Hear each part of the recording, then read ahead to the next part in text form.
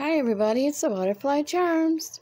So I'm going to try and upload this video because for some odd reason I don't know what's going on, but I am commenting on people's videos, but somebody told me that my comments are not showing up, so I don't know what to do.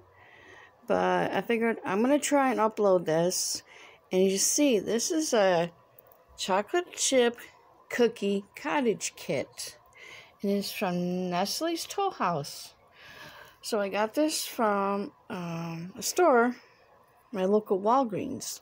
I think they're like nine ninety nine for them. So, but yeah, it comes with all this deliciousness.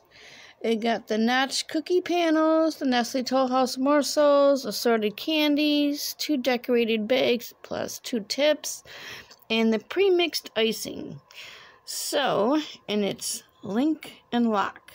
So I'm going to try and put this together maybe uh, tomorrow or something. We'll see what's going on. So wish me luck and hopefully I can upload this. Okay, bye.